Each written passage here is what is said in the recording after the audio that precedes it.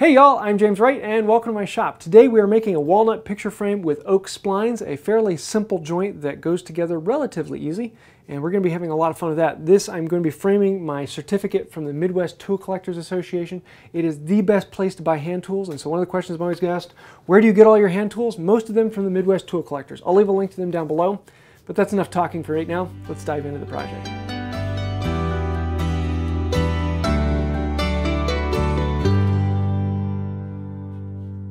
This build is going to start with some walnut. I love working with walnut. It is a fantastic hand tool wood.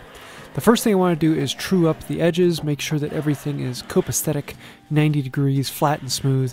It's a good chance to bring in the smoothing plane and really play with it. Getting some nice thin curls and this walnut, it's just, it's a happy time. Uh, walnut is such a fantastic wood to work with.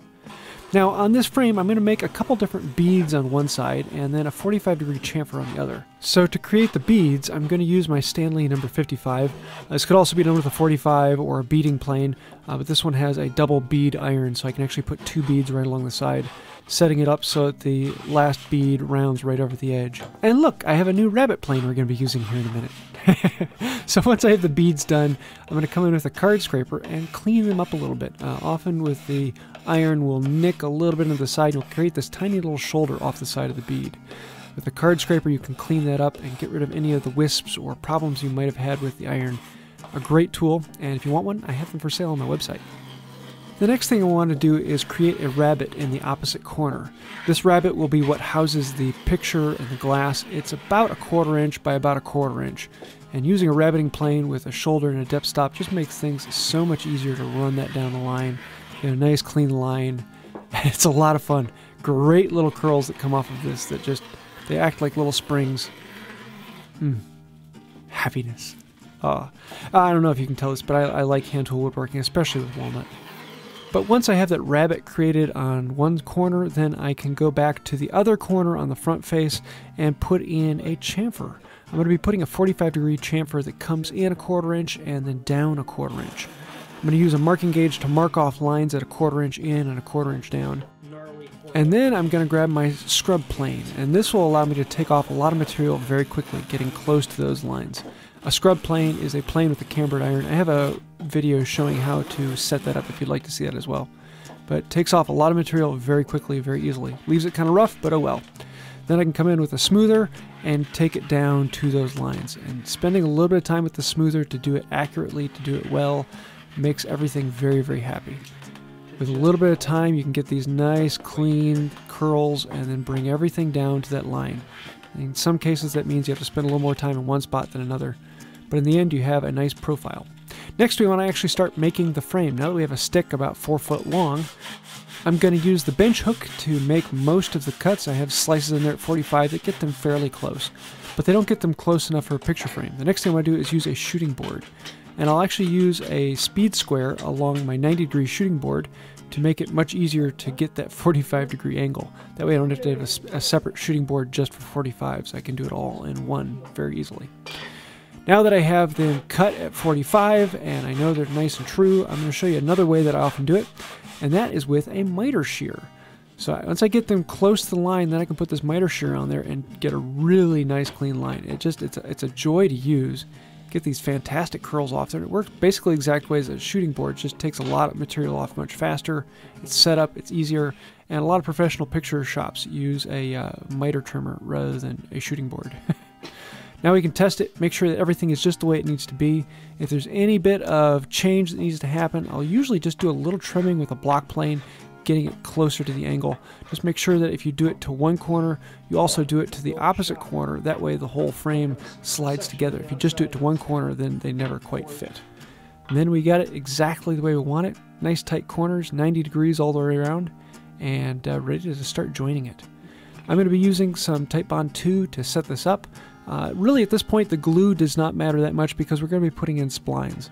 And I'm just going to glue it up and use a picture frame clamp.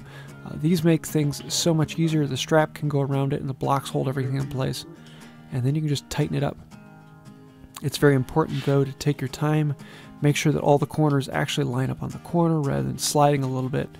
And once that's all done, clean up the glue squeeze out. A wet rag will help you get rid of most of it as long as you also then dry off the dry area. And then you can use a straw to get into the tight corners. Uh, those cheap disposable straws work better, but I couldn't find them, so I ended up using one of the kids' Um, don't tell them. Once that's all in clamps, then we set it aside, let it dry, and then come back to it a day later. Now that it is done, it's basically a picture frame. You could leave it here, you just have to be a little careful. The glue is not very strong on the end grain, and it might cause some problems in the future. So what I'm going to do is put in some splines. I have a mortising gauge set up to the uh, thickness of my mortising chisel, and I can put some lines down either side of the corner, about 3 quarter inch to 1 inch down. And then I can come in with the dovetail saw, follow those lines right down to the, the bottom of their cut. And I'll basically have a 45 degree cut on the corner on either of those lines. Once I have that done, come in with a uh, chisel that I chose the width of the mortising marks and clean out the waste in between those two cuts. Chop in halfway from one side and then halfway from the other, that way you don't bust anything out. Clean it out so there's a nice flat surface on the bottom and the mortise is done and ready for a spline. For the spline, I'm going to be using a couple pieces of oak, and I'm just going to cut them to a rough size. I don't care about putting the angles on them right now, just to something that is much bigger than the actual opening. I'm going to be using a bit of hide glue. Why hide glue? Because it was here. and I really like hide glue. Um, I cut these fairly tight, and the hide glue makes them slide together easier. It's just a, a good glue for this joint, and it's be far stronger than it needs to be. Once you finish one corner, flip it around and do the same thing again, only three more times. Once the glue is dried, then we can start cutting off the excess. I'll use a saw to get them close, then I'll get them really darn close to the chisel, bringing everything into the line, working from the corner in towards the center, and then clean them up with a plane. A nice smoothing plane with a really finely set mouth and chip breaker makes this beautiful. And to clean up those joints in between makes it really, really nice. The last thing I want to do is actually go through it and detail it out because I have these grooves uh, from the rabbets. I want to clean them out with a knife and a small piece of sandpaper, bring everything into that final smoothness that I want it to be for the finish. Uh, don't diss the sandpaper, it's really useful. Especially in little things like this where you can bend it over and get into these corners. Gives you a really nice surface on there. For a finish, I'm doing my basic uh, boiled linseed oil and paste wax. Uh, because this will be sitting on the wall and won't have a whole lot of contact, there's no real need for a highly protective finish. And I love the way the boiled linseed oil and paste wax brings out the color of the walnut. I'm going to apply it on there and let it soak in, put on four more than it needs, and then let the uh, oil soak into the wood. Come back a little while later, add more oil. I'll do that three or four more times until the wood stops soaking up the oil. At that point, we can wipe off the excess and really start to see the color in this wood come through. Absolutely gorgeous, and I like the slight contrast with, contrast with the oak. Makes it very happy. After that, we'll apply paste wax, let that sit for a little while until it can harden up, and then we'll come in and buff off the paste wax with a rag. And the picture frame is, well, built. The last thing we need to do is actually install the picture and the hardware needed to hang it. So for the picture, I had some glass cut to the size it is. It ends up being an eighth inch larger than the picture because I don't have a mat to go with it. Clean it off nicely before putting it in because once it's in, it's much harder to clean.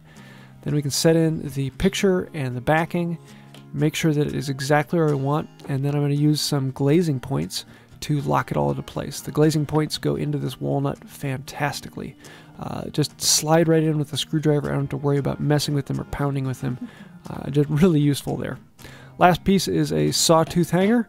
Drive it in with a uh, hammer, and it's about ready to hang. I am in love with how easy this is, and the wall just makes it that much easier and a very enjoyable task. I'll use a simple cleat for hanging it on the wall, drive it in at the right point, hang the picture up, and we're done. The picture is ready to view for years and years to come until I find something else to hang in that spot. So there you have it. A relatively simple project. Uh, it's a lot of fun. It takes some fiddling and you can get things together. You're not always going to have the tightest joints. On the back I have a couple with some gaps. Oh well, you don't see them from the front, so that's what makes it happy. And with the splines, it's a fairly solid, strong joint that's not to last you for a long time. So I'm looking forward to this being on my wall. If you ever watch any of the live videos that my wife and I do, you'll see this hanging on the wall behind her now. So I hope you like this project. If you did, please like, comment, subscribe. Uh, that does help out the channel, so thank you for that. Also want to say a huge thank you to patrons on Patreon.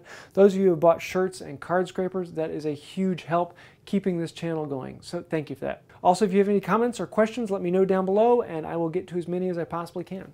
So that's about it for today. Until next time, have a wonderful day.